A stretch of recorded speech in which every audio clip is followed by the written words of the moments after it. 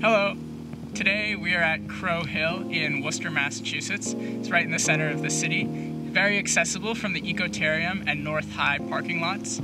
And here we have a savanna habitat which is pretty unique to find, especially in a city. So we're going to explore and see what we see. Do you want to go this way or this way? Well, you don't have a choice. We're going this way.